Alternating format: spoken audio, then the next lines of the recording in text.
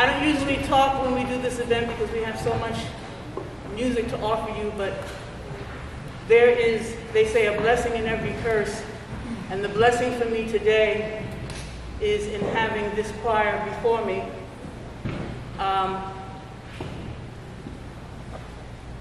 and I just want to show you something really quickly before we perform. Melody Ortega, class of 2002.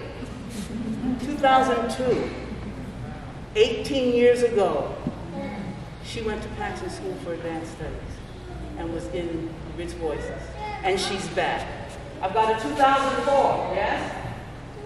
2004, 5, 6, 7, 8, 9, 10, 11, 12. You see what I'm talking about?